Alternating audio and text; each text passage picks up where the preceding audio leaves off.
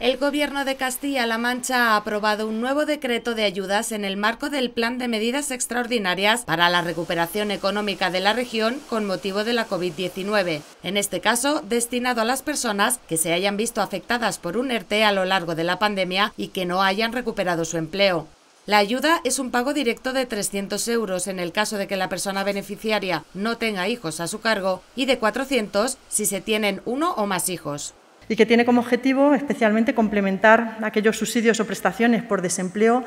que, eh, al que tengan derecho las personas beneficiarias de este tipo de ayudas. El decreto está dotado con 3,5 millones de euros.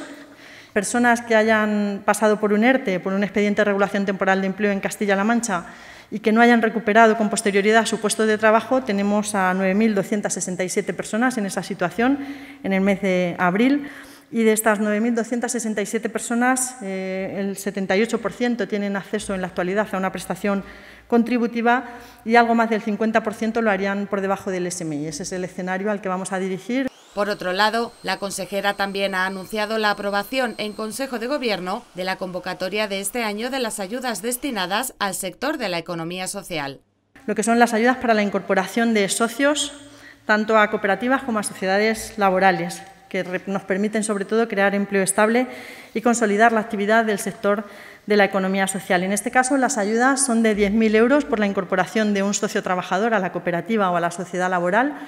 Hemos multiplicado por dos las ayudas de la última convocatoria y también aquí hacemos un gesto tanto a las personas con discapacidad como a las mujeres